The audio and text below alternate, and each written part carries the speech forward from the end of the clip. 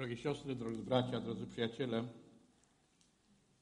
któregoś dnia okaże się, że to nie sen Julii, Krysi, Marysi, Zdzisława, Andrzeja czy kogokolwiek innego, ale prawdziwe wydarzenie. Wydarzenie pochwycenia Bożego Kościoła, o którym mówi oto słuchowisko. Chciałbym, abyśmy dzisiaj też, kontynuując tę myśl, mogli zajrzeć do Bożego Słowa. Jeśli mamy nasze Biblię, chciałbym, abyśmy otworzyli tekst, tekst, który wypowiedział kiedyś Pan Jezus Chrystus. To są Jego słowa zapisane w Ewangelii Mateusza w 24 rozdziale. Chcę czytać wersety od 32 do 44. Ewangelia Mateusza, 24 rozdział, wersety od 32 do 44. Jezus mówi tak. A od figowego drzewa uczcie się podobieństwa. Gdy gałęź jego już mięknie i poznajecie, że blisko jest lato. Tak i wy, gdy ujrzycie to wszystko, wiedzcie, że blisko jest tuż u drzwi. Zaprawdę powiadam wam, nie przeminie to pokolenie, aż to się wszystko stanie. Niebo i ziemia przeminą, ale słowa moje nie przeminą. A o tym dniu i godzinie nikt nie wie, ani aniołowie w niebie, ani syn, tylko sam ojciec. Albowiem jak było za dni Noego, tak będzie przyjście syna człowieczego. Bo jak w dniach owych przed potopem jedli, pili, żenili się i za mąż wydawali, aż do tego dnia, gdy Noe wszedł do arki i nie spostrzegli się, że nastał potop i zmiótł wszystkich, tak będzie i z przyjściem Syna Człowieczego. Wtedy dwóch będzie na roli. Jeden będzie wzięty, a drugi zostawiony. Dwie mleć będą na żarnach. Jedna będzie wzięta, a druga zostawiona. Czuwajcie więc, bo nie wiecie, którego dnia Pan wasz przyjdzie. A oto zważcie, że gdyby gospodarz wiedział, o której porze złodziej przyjdzie, czuwałby i nie pozwoliłby podkopać domu swego. Dlatego i wy bądźcie gotowi, gdyż Syn Człowieczy przyjdzie o godzinie, o której się nie domyślacie. Ostatnie nauczania Jezusa Chrystusa zapisane właśnie w 24 i 25 rozdziale Ewangelii Mateusza dotyczy Jego powtórnego przyjścia. Nie znaczy to, że wcześniej Pan Jezus nic nie wspominał o tym swoim uczniom albo że nie nauczał na ten temat, e, ale znaczy to, iż tuż przed swoją męką, przed cierpieniem, ukrzyżowaniem, a potem wydarzeniami takimi jak zmartwychwstanie, w niebo wstąpienie i wylanie Ducha Świętego, Pan Jezus chciał zwrócić uwagę swoich uczniów na czasy ostateczne gdy tym razem chwale i w mocy powróci po tych, którzy mu zaufali. Dział biblistyki, który zajmuje się przyszłymi wydarzeniami, czasami ostatecznymi, nazywamy eschatologią. Kiedy dokładnie czytamy Biblię, łatwo można zauważyć, że mowa jest o dwóch etapach powtórnego przyjścia Jezusa Chrystusa. Podobnie jak czytamy o dwóch zmartwychwstaniach, e, z których pierwsze dotyczy tylko ludzi wierzących, o którym apostoł Jan wyraża się w ten sposób.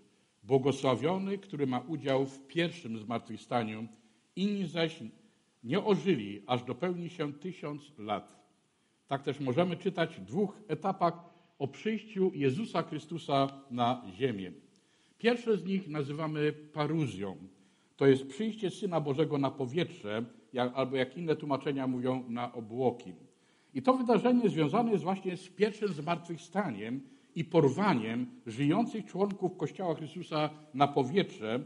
Drugie zaś, przyjście Jego nazywamy Epifanią, czyli zejściem Chrystusa na ziemię razem ze swoimi świętymi i założenie tysiącletniego królestwa. O obydwu tych wydarzeniach jasno i wyraźnie mówi apostoł Paweł. O pierwszym z nich w pierwszym liście do Tesaloniczan gdzie w rozdziale czwartym, a wersetu od 13 do 17 czytamy takie słowa. A nie chcemy, bracia, abyście byli w niepewności co do tych, którzy zasnęli, abyście się nie smucili jako drudzy, którzy nie mają nadziei. Albowiem jak wierzymy, że Jezus umarł i zmartwychwstał, tak też wierzymy, że Bóg przez Jezusa przywiedzie z nimi tych, którzy zasnęli. A to wam mówimy na podstawie słowa Pana, że my, którzy pozostaniemy przy życiu aż do przyjścia Pana, nie wyprzedzimy tych, którzy zasnęli. Gdyż sam Pan, na dany rozkaz, na głos Archanioła i trąby Bożej, stąpi z nieba. Wtedy najpierw powstaną ci, którzy umarli w Chrystusie. Potem my, którzy pozostaniemy przy życiu, razem z Nim porwani będziemy w obłokach w powietrze na spotkanie Pana i tak zawsze będziemy z Panem. Tym fragmencie Bożego Słowa apostoł Paweł odpowiadał na pytanie Tesaloniczan, co z ludźmi, którzy uwierzyli, ale pomarli i nie doczekali przyjścia Jezusa Chrystusa. W pierwszym bowiem kościele istniało bardzo silne przekonanie, że powtórne przyjście Jezusa stanie się za ich życia. Paweł musiał prostować ich przekonania i zrobił to w drugim, w drugim wysłanym do nich liście, mówiąc o przyszłych wydarzeniach związanych z objawieniem się przeciwnika Bożego, który nazwany jest on człowiekiem niegodziwości, synem zatracenia, a który zasiądzie świątyni, podając się za Boga, i finałem tych wydarzeń będzie właśnie Epifania, czyli to drugie przyjście, objawienie Chrystusa, który zabije go, tego przeciwnika, tchnieniem ust Twoich i zniweczy blaskiem przyjścia swego. Wróćmy jednak do nauczania Jezusa zapisanego w 24 i 25 rozdziale Ewangelii Mateusza. W tym nauczaniu Jezusa widzimy szczególną troskę o jego naśladowców. Czy Jezus nie wiedział, jak będą reagować uczniowie na wydarzenia związane z jego bliską męką? Doskonale wiedział. A jednak, choć chciał ich przygotować do tych trudnych wydarzeń i do tych przeżyć związanych z jego śmiercią, i zapowiadał im, po co zdąża do Jerozolimy i co go tam czeka, to jednak o wiele bardziej w nauczaniu uczniów zwraca uwagę na przygotowanie ich serc na swoje powtórne przyjście na ziemię, by zabrać swój kościół, swoją oblubienicę na wesele baranka. W przeczytanym fragmencie Bożego Słowa możemy zwrócić uwagę na przynajmniej kilka bardzo istotnych uwag związanych z czasem przyjścia naszego Pana. Po pierwsze, Chrystus mówi o szeregu znaków na ziemi i na niebie, które mają zwiastować Jego rychłe przyjście. Nie chcę dzisiaj omawiać poszczególnych znaków, które przepowiadał Jezus, e, które miały się wypełnić i które się wypełniają. Dziś z łatwością możemy oglądać i doświadczać tego, że przepowiednie Jezusa spełniają się co do joty i nikogo nie trzeba przekonywać, że czasy są naprawdę ostateczne. Nawet ludzie, którzy nigdy nie czytali Biblii i nigdy nie słyszeli o znakach, na które Jezus wskazywał, jakby czuli to pod skórą, że koniec wszystkiego się zbliża. Są e, i zbliża się tymi milowymi krokami. Coś, co musi się stać, bo tak przecież dalej być nie może, gdyż zło sięga już prawie zenitu. Coraz większy strach i lęk, jak Biblia pisze, lęk bezradnych narodów wobec rzeczy, które nastają i których jesteśmy świadkami. Czytaliśmy słowa Jezusa, który powiedział do uczniów: Tak i wy, gdy użycie to wszystko, wiedzcie, że blisko jest tuż u drzwi. Odnoszę jednak wrażenie, że jakkolwiek mamy świadomość, iż czasu jest niewiele i że jest to czas najwyższy, to jednak jako ludzie tkwimy w pewnym maraźmie, letargu, jakby we śnie. I tak się zachowujemy, jakby to w ogóle nas nie dotyczyło. W dalszym ciągu ważniejsze jest dla nas, dla nas ludzi, sadzenie, szczepienie, sprzedawanie, kupowanie, wychodzenie za mąż, żenienie się, jedzenie, picie, niż myśl o przygotowaniu się na rychły koniec. Ten szybko przyjdzie. Biblia mówi, że stanie się to w okamgnieniu, w okamgnieniu. I nikt nie będzie się spodziewał, gdy Syn Boży się objawi. Ku zaskoczeniu wszystkich nieprzygotowanych na ten dzień. Przyjdzie bowiem jak złodziej w nocy. Właśnie druga rzecz, na którą zwraca Jezus uwagę, to zaskoczenie nagłością wydarzenia. Na ziemi jesteśmy czasem zaskoczeni nagłością śmierci. Niespodziewanie zaatakował nas i świat koronawirus, codziennie zbierając żniwo śmierci. Światowy terroryzm sprawia, że nikt dzisiaj nie czuje się bezpiecznie, gdziekolwiek jest czy mieszka na tym świecie.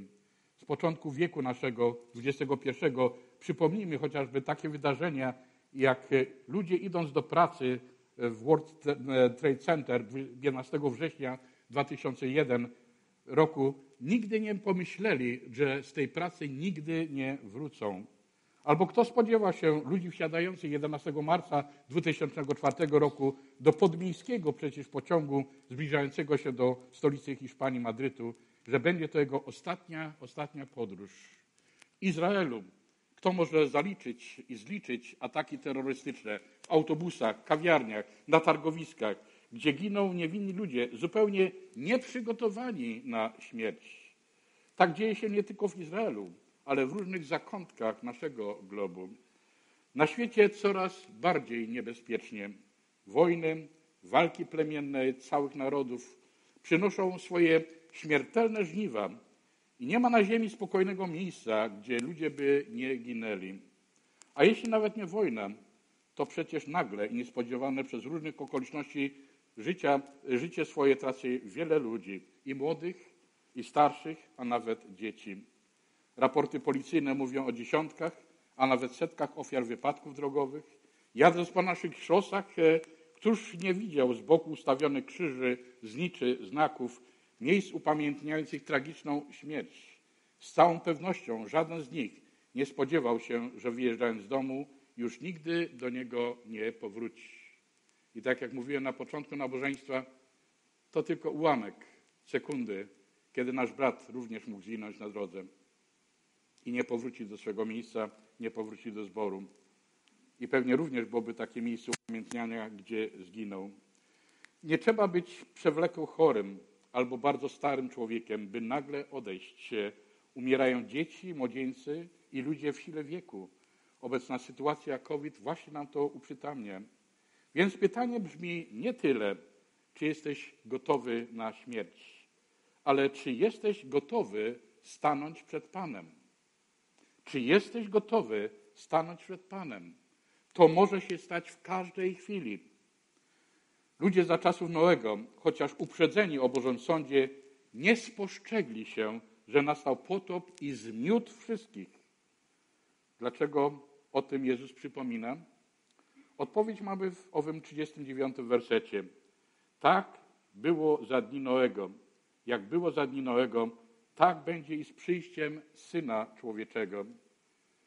Kto kiedy przejmował się poselstwem ratunku głoszonym przez Noego? Kto wierzył w nawoływanie do pokuty i skorzystania zachowania swego życia w budowanej arce? Nastał potop i zmiótł wszystkich. O przyjściu Jezusa Chrystusa Biblia mówi, że nikt nie zna dnia ani godziny. Wprawdzie niektórzy domorośli, tak zwani teologowie, wielokrotnie wyznaczali datę przyjścia Chrystusa na ziemię. Potem ze wstydu musieli ukrywać się przed swoimi wyznawcami albo próbować poprawiać swoje obliczenia. Mnogość tych fałszywych zapowiedzi sprawia, że w czasach, jakich my obecnie żyjemy, mnoży się liczba szyderców z druinami, którzy zaczynają mówić, jak Biblia powiada, a gdzież jest owe przyobiecane przyjście Jego?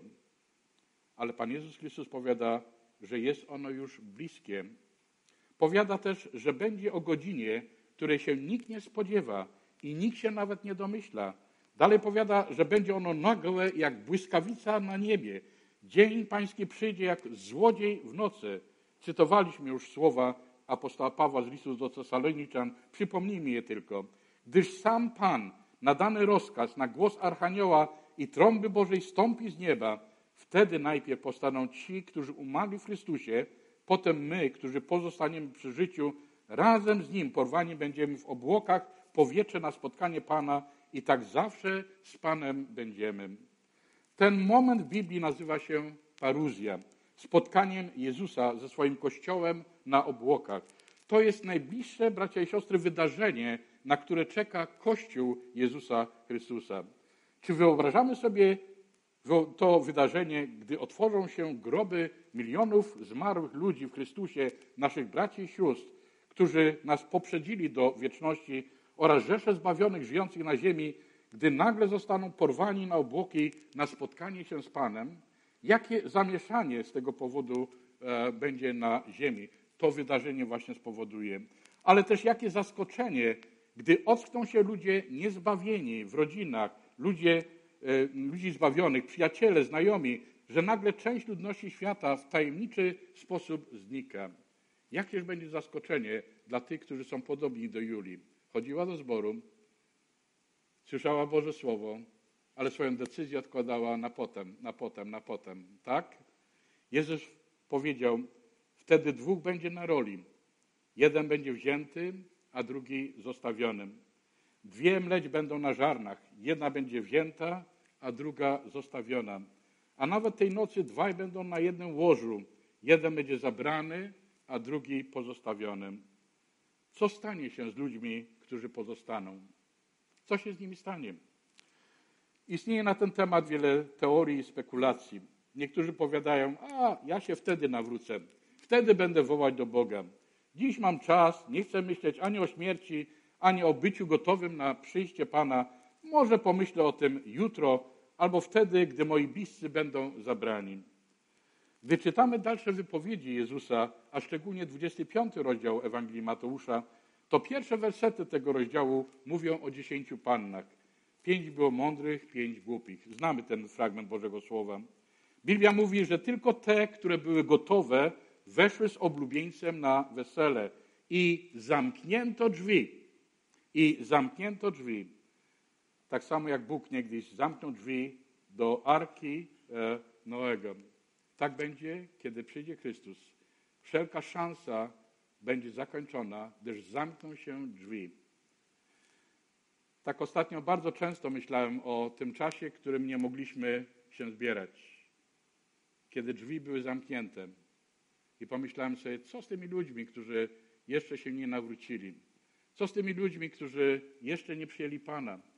Co z tymi ludźmi, którzy nie wyznali Jezusa Chrystusa w chrzcie wiary, bo przecież to jest warunek. Co z nimi będzie, kiedy drzwi są zamknięte? A przecież możemy bardzo wyraźnie sobie uświadomić, że z dnia na dzień i nasze kościoły mogą być zamknięte.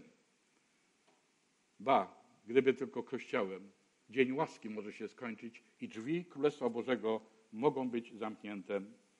I wtedy, kiedy te drzwi w tej przypowieści ewangelicznej zostały zamknięte, nadeszły i pozostałe panny, mówiąc: Panie, Panie, otwórz nam. On zaś odpowiadając rzekł: Zaprawdę powiadam wam, nie znam was. Co za tragiczna pomyłka u panien, które nie były gotowe. Może sądziły, że zdążą. Może sądziły, że mają jeszcze czas. Może myślały, że jakoś to będzie. Chciały zaliczać się do, do panien oblubieńca, ale nigdy nimi były. Co za straszne odkrycie. Biblia mówi o ludziach, którzy będą sobie rwać włosy na głowie z powodu tych rzeczy, że drzwi będą zamknięte i, i skończy się dla nich szansa zbawienia. Będą głośno wołać: Panie, w Twoim imieniu prorokowaliśmy, wyganialiśmy demony, czyniliśmy wielkie cuda. Panie, jadaliśmy i pijaliśmy przed Tobą na naszych ulicach, nauczałeś. Ale drzwi pozostaną zamknięte. Może i wtedy ktoś z nas będzie krzyczał: Panie, przecież chodziłem do kościoła. Moja żona czy mój mąż byli tam nawet członkami. Przecież dawałem na kolektę co niedzielę. W moim domu często bywali bracia i siostry. Panie, przecież prawie byłem taki, prawie tak jak oni. A Chrystus powie, nigdy Cię nie znałem. Tej jednej nocy, w jednej chwili, okamgnieniu, Kościół będzie zabrany z ziemi na powietrze, na spotkanie z Panem i będzie tak, że jeden będzie wzięty, a drugi pozostawionym. Może to być tak, że żona będzie wzięta, a mąż zostawiony. Może być tak odwrotnie, mąż wzięty, a żona zostawiona. Może być tak, że twój współpracownik będzie wzięty, a ty pozostawiony. Kiedy przyjdzie ten dzień, nie będzie już czasu na jakąkolwiek zmianę. Wtedy będzie za późno, by cokolwiek zmienić, poprawić, szukać właściwej drogi. Dlatego Słowo Boże powiada, dziś, jeśli głos Jego słyszycie, nie zatwardzajcie serc waszych. Jako ludzie codziennie myślimy o różnych rzeczach, różnych sprawach, różnych pracach, jakie mamy do zrobienia. Jakże wiele jest tych rzeczy pilnych, ważnych w naszym mniemaniu. Gdy przyjdzie śmierć, wszystko ustanie, nic już nie będzie ważne. Albo gdy przyjdzie Pan, będzie już za późno na jakąkolwiek zmianę i odmianę swojego losu. Dlatego też musimy siebie zapytać, czy myślimy o tym dniu, czy jesteśmy gotowi na ten dzień. Śpiewaliśmy w pieśni, czy będziesz też zabrany, gdy, czy spotkasz go w tym dniu. To ważne pytanie, ale jeszcze ważniejsza jest odpowiedź. To pytanie nie tylko jest skierowane do tych, którzy jeszcze nie przyjęli Jezusa Chrystusa jako swego osobistego Zbawiciela, ale również i do wierzących. Pan Jezus Chrystus powiada, czuwajcie, bo nie wiecie, którego dnia Pan wasz przyjdzie. A apostoł Piotr w drugim liście pisze tak, a dzień pański nadejdzie jak złodziej, wtedy niebiosa z czaskiem przeminą, a żywioły rozpalone stopnieją i ziemia i dzieła ludzkie na niej spłoną. Skoro to wszystko ma ulec zagładzie, to jakimś powinniście być świętym postępowaniu i w pobożności. Biblia mówi o świętym postępowaniu i świętej pobożności. Pobożność dzisiaj nie jest modnym słowem. Bardziej staramy się być postępowi, tolerancyjni, oświeconymi, nie odstawającymi od wzorcu tego świata, takimi współczesnymi Europejczykami. Biblia zaś kładzie nacisk, byśmy raczej byli myśli Chrystusowej, by być jak Jezus, by naśladować Jego wzorzec, by wypełniać Bożą wolę tak, jak On ją wypełnił. Bracia i siostry, mam pewną myśl. A może powinniśmy modlić, by Pan Jezus przyszedł w niedzielę, w takim jak teraz czasie, kiedy jesteśmy zgromadzeni, kiedy myślimy o Nim, kiedy czytamy Jego Słowo, może z pewnością by nas zabrał. Gorzej, gdy wyszedł jakimś innym dniu, poniedziałek, wtorek, nawet i czwartek, kiedy mamy jakieś studium biblijne. Gorzej by było, kiedy nas nie ma, kiedy wydaje nam się, że wszystko już jest za nami, że wszystko już wiemy i potrzebujemy być świętymi tylko i wyłącznie na niedzielnym nabożeństwie. Garniturach, odświętnie ubranych, e, słuchających Boże Słowo, a nawet modlących się. Bardzo często jesteśmy podobni do owych głupich panien. Głupie, mądre panny, panny były naprawdę coś podobne.